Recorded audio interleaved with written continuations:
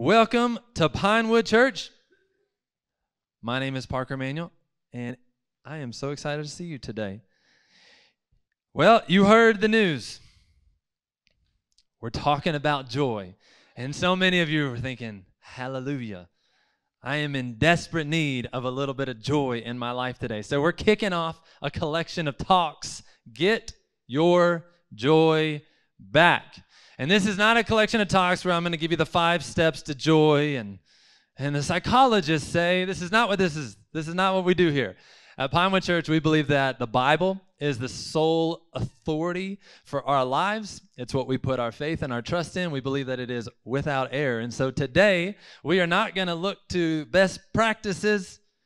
We are going to look to Bible principles. We're going to see what the Bible has to say about bringing your joy back and being restored to the joy of your salvation. We're so glad that you're joining us today. Well, as a kid, as far back as I can remember, I have struggled with intense, paralyzing anxiety.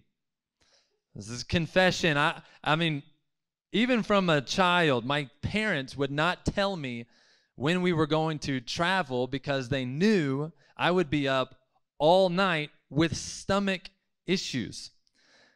I would just, I always had this fear of the unknown. And I have slight or extreme OCD. So I would be thinking to myself, well, wonder what time we're going to leave. What should I pack? Where are we going to go? I wonder how long it's going to be there. Where are we going to stay? Who are we going to see when we get there? When do we get there? How long are we going to stay? Is this even going to be fun? Am I going to like this? Who am I going to sit next to in the car? I would obsess about every detail, so much so that I would just get paralyzed and sick. Not only that, but this intense level of anxiety led to a lot of physical issues. How many of you know that anxiety doesn't just affect you emotionally and mentally, it affects you spiritually and physically? And so I will spare you the details but let's just say I was very unhealthy as a child. So much so that my parents would take me to doctors and specialists, and they would run every test you can imagine, every blood sample, took a camera down my stomach. And then finally, there was one doctor came to my mom and said, Well, good news is he's healthy. Bad news is he's got a lot of worry, he's got a lot of anxiety. I think your son is just stressed out. Isn't that crazy? If you know me now, you might be thinking, really, you are that intense?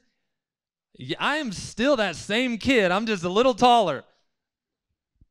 I feel like my parents did an exceptional job about discipling me and pointing me to scripture, walking me on that journey towards healing. But the reality is, I still experience a lot of that anxiety today. Am I speaking to anybody in the house who deals with a little bit of anxiety? Okay, a couple people. All right. Then I want to talk to everyone in the room today because at some level we all experience some type of worry, especially in the last two years. Even if you're not a person of anxiety and you're like happy all the time, you don't worry about anything, that has been tested over the last few years. Think about from a global perspective. From a global perspective, we've had violent wars, we've had mass shootings, we've had a global pandemic, we've had economic uncertainty at every level. Man, this guy is not inspiring me at all. Then from Boulder, narrow it down just a little bit, from Boulder, we had a, a mass shooting we experienced a global pandemic here as well. We had historic wildfires, uh, intense political divide. That's just Boulder. So take from the global scale, then a Boulder scale, and now let's zero in on your life. And I don't know everyone's story. You're sitting there thinking, You don't know me? You're right. I don't know. But I know enough of you to know that you're going through stuff heavy stuff, real stuff, painful stuff.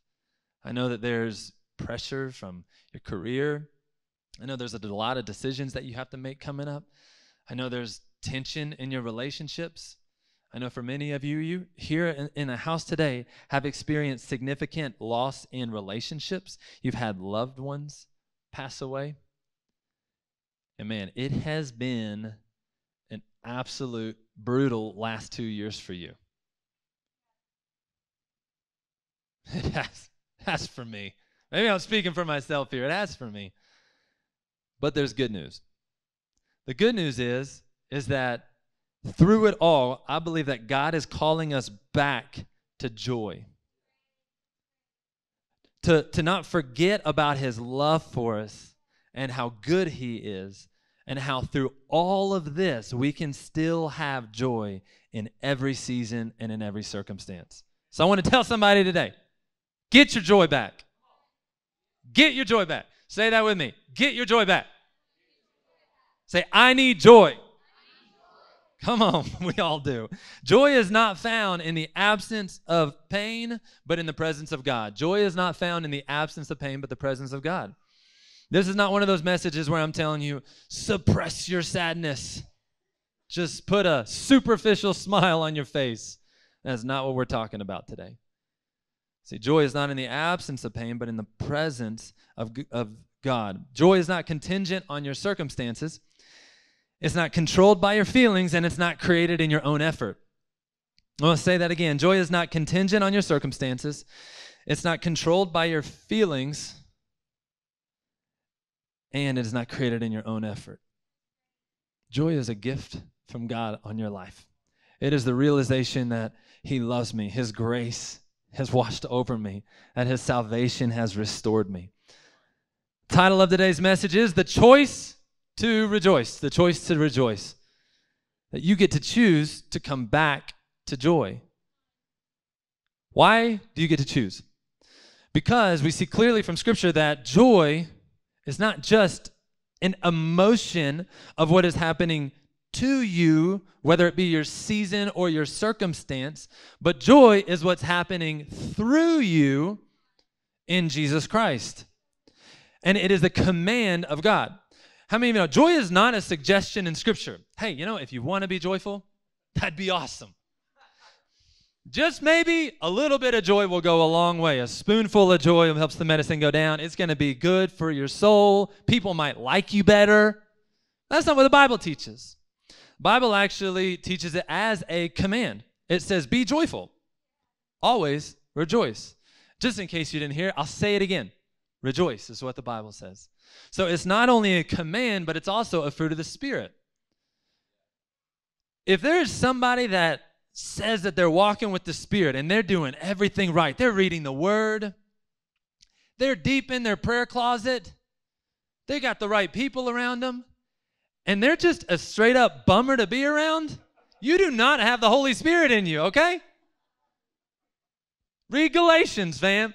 It is a fruit of the Spirit, meaning that evidence of the Holy Spirit working in your life and you walking with the Holy Spirit, you're going to have a little bit of joy in your life.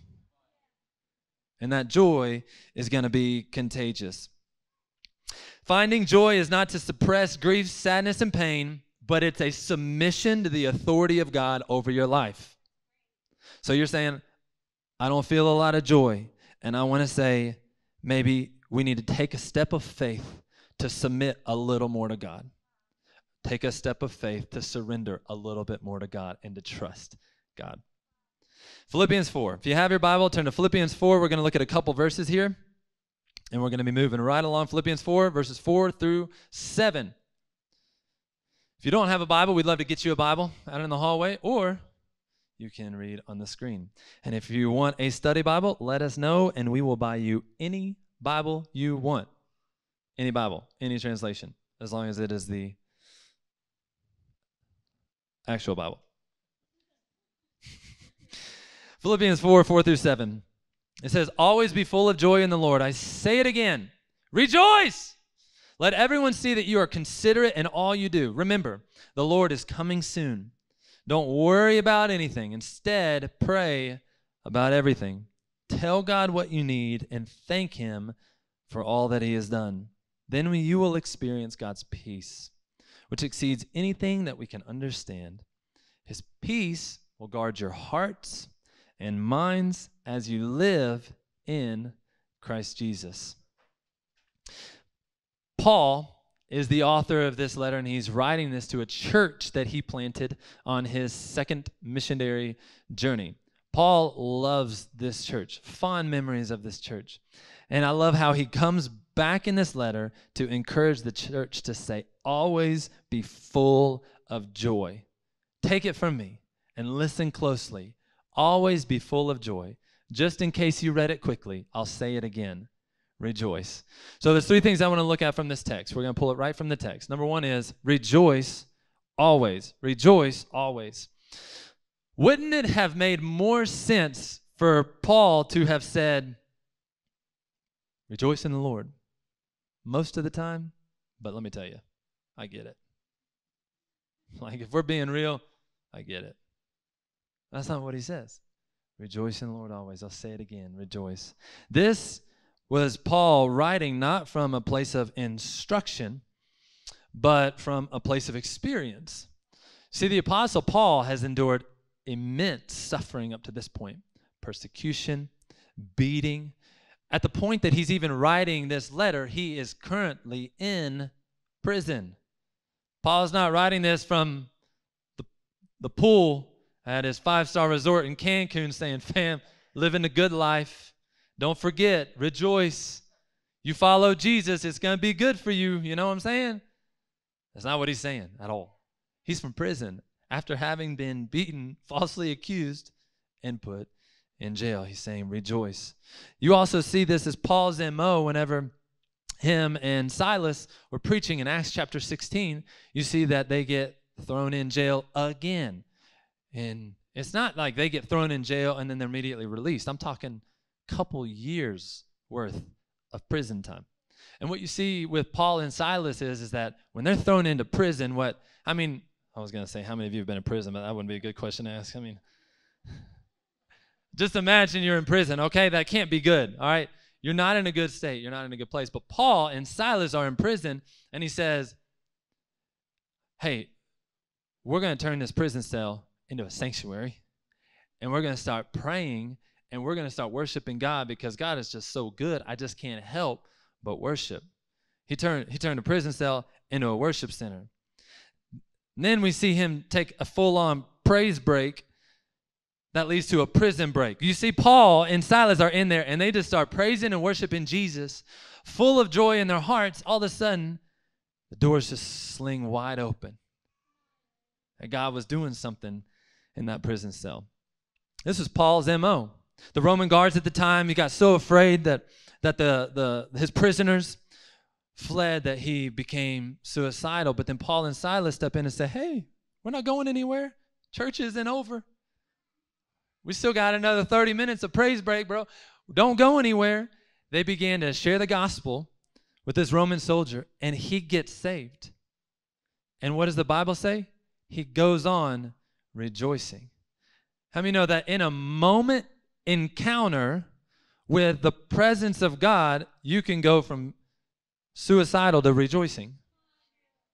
An encounter with salvation through the Holy Spirit, whatever circumstance you're in, you go from a earthly temporary state to a kingdom heavenly level where all of a sudden you're like things may not be good around me but things are great in me i've never felt better in me god is doing something special in me. I think there's several reasons as to why Paul is encouraging in this. One is I believe that he's rem- he knows that the church needs to constantly be reminded to seek after and pursue joy in the Lord. Times article recorded that a third of all money that goes into um, medical facilities and medical treatment, the root cause, a third of all finances, the root cause is anxiety and war. We are just a stressed out people.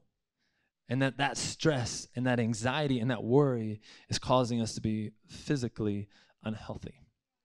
So I believe he's reminding us because he knows this is not to, this, this pattern you're on is not going to work well for you. Come back to the joy in the Lord. But then I believe there's a, another reason, a second reason. I believe that Paul is wanting to point out that joy is not contingent on our circumstances. I'm going through a hard time. Why can't you just see that this is just a hard time? My, I don't need to be joyful here. Just let me grieve. Because God is calling you both to a, a deeper level of intimacy with Him, and He's calling you to a higher perspective in His kingdom. And that's kind of what we're going to be talking about for just a little bit here is when you are not experiencing joy, that there's opportunity to go a little deeper and there's an opportunity to go a little higher. Our circumstances change daily. How many of you know that you can't uh, count on your feelings?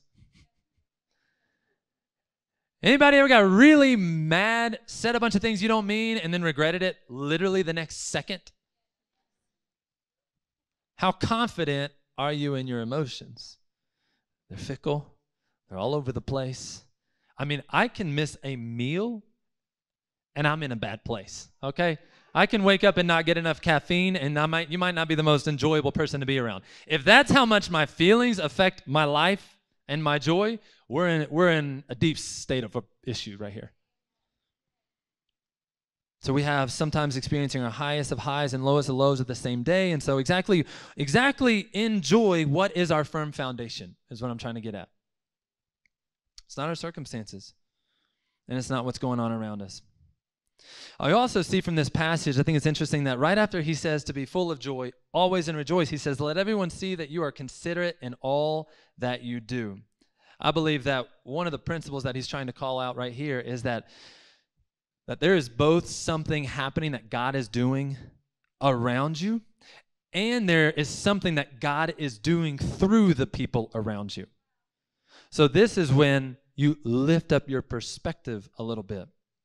Philippians 4 5, the, uh, another translation, message translation says it this way Make it as clear as you can to all you, make it as clear as you can to all you meet that you're on their side and that you're working with them and not against them. The principle here is, is that the thing that you're a part of is bigger than the part that you play. That God is doing something bigger in the life around you. And so often we get our head down, so fixated and so focused on what is just temporarily in front of us, that if for just a second we would lift our head and see what God is moving around us, then I think it would be amazing the joy that we would find. Oh my gosh. I think this is ever more true being in the church. I can find 10 things right now that I don't like about this church right now. I pastor this church. I mean, there's, there's things that drive me crazy. There's people that drive me crazy. None in this room. None, none, the, none of you are in this room. But if I keep my head down and I'm so focused on the problem that's right in front of me or how it's just not right or it's not perfect or, or whatever case, then I become incredibly anxious, overwhelmed, and ultimately I get angry and bitter. But when I lift my head and I see, wow, guys, we're in Casey Middle School. We're in downtown central Boulder, Colorado. We live in the United States of, I don't know, I'm just trying to go big. We're in the world, you know, I don't know. I, I, just go as big and I just lift my head. I become grateful. Then I begin to look around at where God is at work around me, and I'm just like, man, can you believe that that person found freedom from addiction? I'm so stoked that that marriage stayed together because, man, had it not been for that conversation, that marriage would have been torn apart. But God opened up a window that I could speak into that.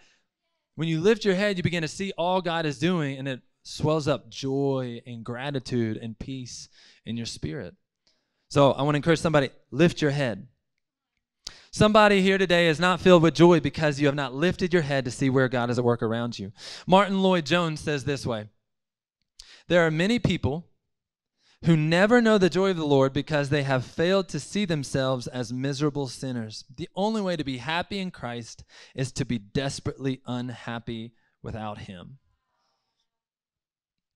I believe, and this is not just here in this house, but I mean globally in the church, that we have lost our desperation for the presence of God, and therefore we have lost peace on this earth in the joy of the Lord.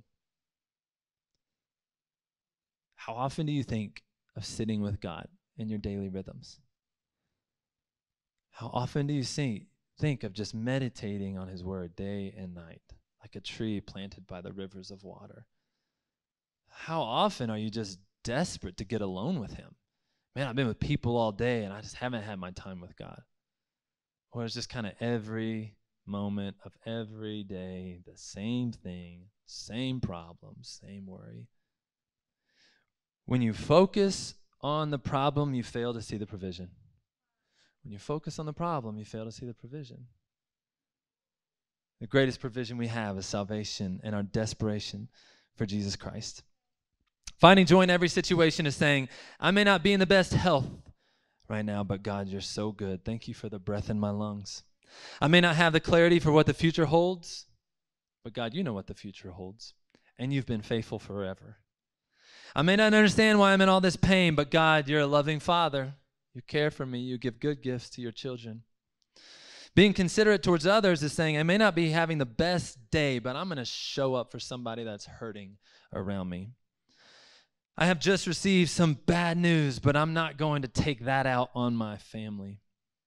I may have just lost my job, but I'm going to take this pain and this grief and this sorrow, and I'm going to pray for people, many people who also just lost their jobs. I'm going to lift my head. I'm going to see a higher perspective.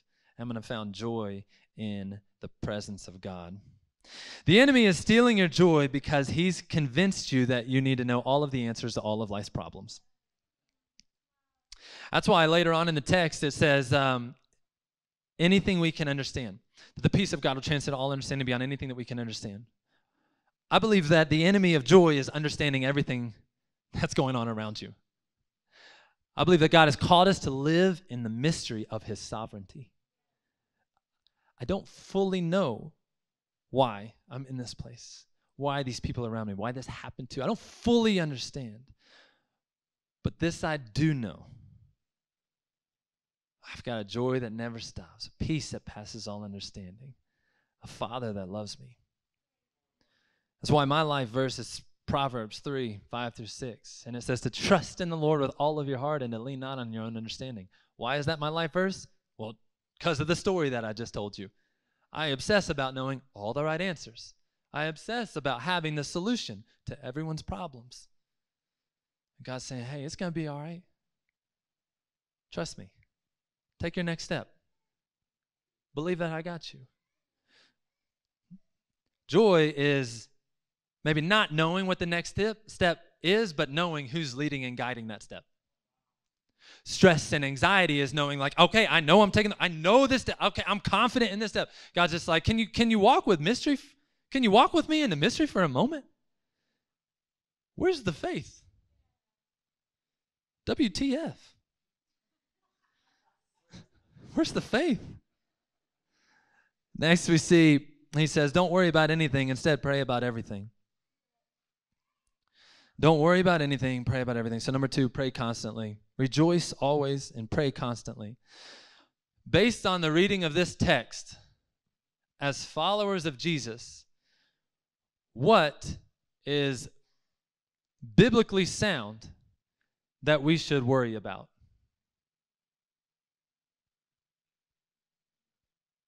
Nothing. Don't worry about anything. But, but no, don't worry about anything. All right, based on this text, what should we pray about? Our problems? The good things, the bad things? What if we just pray about everything? Scripture says, don't worry about anything, pray about everything. I believe God is calling us from anxious worriers to prayer warriors. Hey, let that let that sink in. Prayer words. God's calling us to be people of prayer. My house will be called a place of prayer. My people will be called a people of prayer.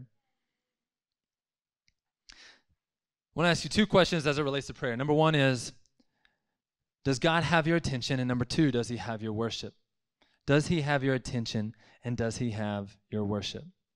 What you pay attention to, what you what you focus on, you will have affections for. So, make that as practical as I can in your prayer life. If you are you love politics, man, you live and breathe it. You might even want to be the governor of Colorado one day. Let's go. And all you're doing every day, inundating yourself with politics and politics and politics. Well, now you've you've put your attention there. Over time, what you put your attention toward, you will gain affections for. Now all of a sudden you're maybe a little more attached to politics than you are Jesus. Whatever the case may be, whatever that is for your life, I believe that God is calling us to have affections and intimacy with Him in our daily rhythms of our prayer life. I have five kids and one on the way. Just kidding. This is not that announcement. Five kids, a rabbit and a dog. And and my kids are aggressive to make sure that their dad is listening every second of every minute of every day. And some of them like to talk more than others, not necessarily about anything. And the, normally don't even have questions.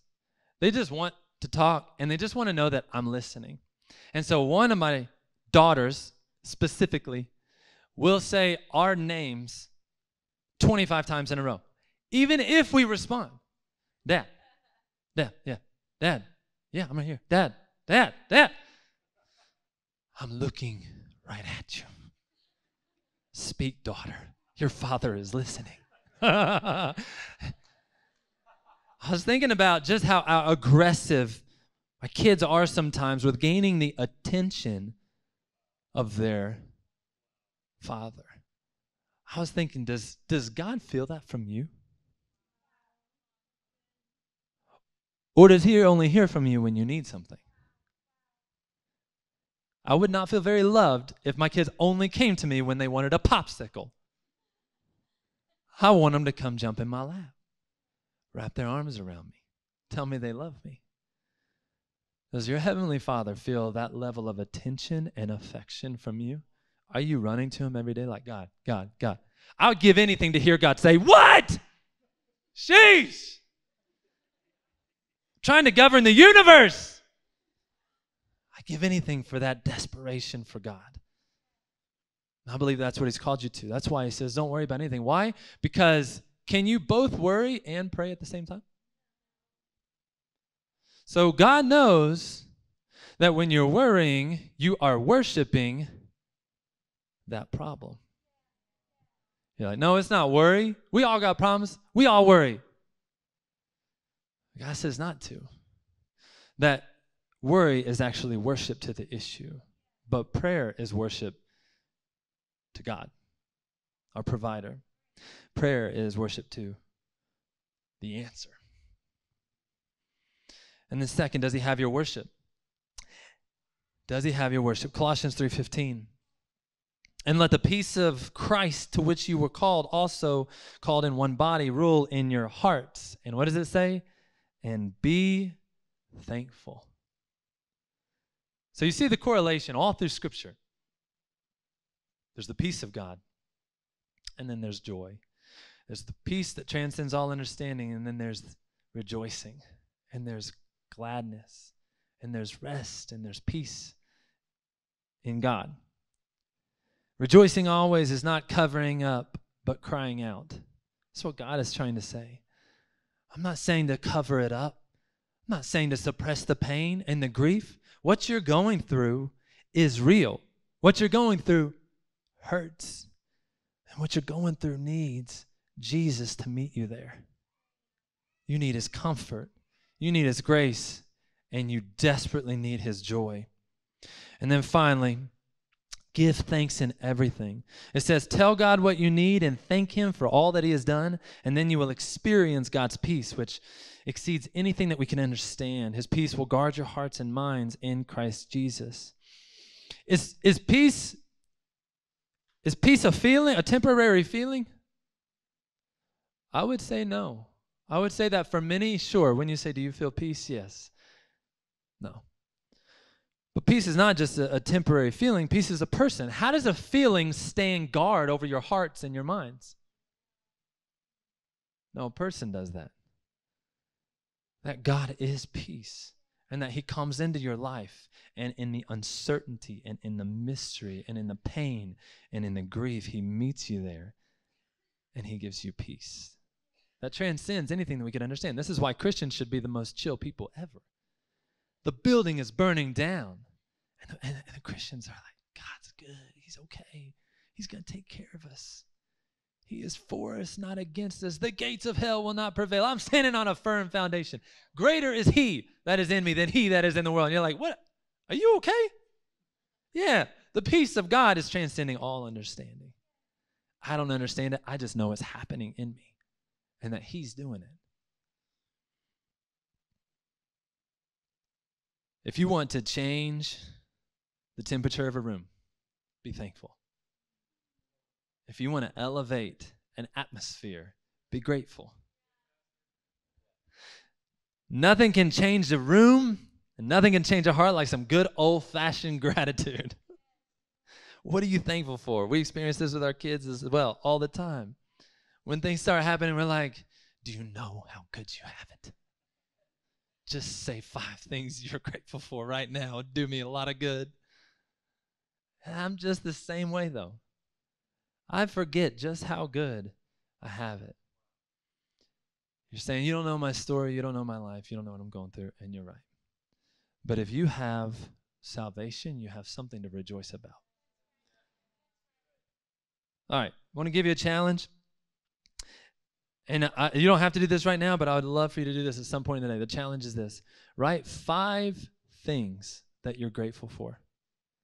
And let number one be I'm grateful for salvation, that I was a sinner and that Christ died for me, and that He is alive again. And you'll find that the next four will just roll right off of your tongue. I believe that for so many that are unable to find joy and have a challenge finding joy, it's because you're still tilling the soil to get to the firm foundation. You keep thinking that temporary things, or that a career, or the next big move, or the next raise, or the next relationship, you keep thinking that the next thing is going to bring joy, that that is going to be the thing that is in a firm foundation. But those things always change. Those things are extremely temporary. Those things do not last forever. And those things may bring temporary happiness, but not lasting joy. It's not until you get to the firm foundation of the gospel of Jesus Christ that you experience eternal kingdom joy. The joy, that's why it's, it's not the joy of your self. It's the joy of the Lord. There's a song that says, uh, When I think about the Lord, how he saved me, how he raised me, and how he filled me with the Holy Ghost, how he healed me to the uttermost. When I think about the Lord, how he picked me up and he turned me around and he placed my feet on a solid ground, it makes me want to shout, Hallelujah.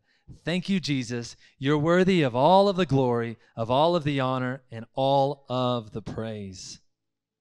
When I think about the Lord, how he saved me. I think for somebody in the house today, one of the reasons that you are not experiencing joy in your life is because you think you have given your life to Christ, but in reality, you have just been obeying the rules. You think you've surrendered your life to Christ, but in reality, you, you're just attending something. You've never fully said, God, I give you my whole life. That is where you experience joy. God, I turn from whatever I want in my life, and I'm turning 100% in the other direction. You are now my master and Lord, my Savior and my King. Whatever you say, I will do. That is receiving the gift of God's grace on your life. That is confessing your sins before God. And that is crying out and turning from God. And so I'm not one of those preachers that comes up here and says, I'm gonna do, I'm gonna spend the next five minutes making you doubt your salvation. Give me the time and the place.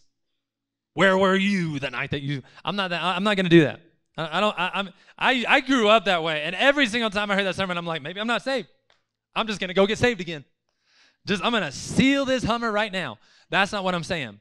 But I am asking you to take a realistic inventory of your soul. Have you just said, Yes, Lord? Bible even teaches that. Many of you will be standing before the throne saying, Haven't we done all of these great things in your name, prophesied in your name? And Jesus is going to say, He's going to turn them away and say, I never knew you. Even, even the demons know that God is raised from the dead.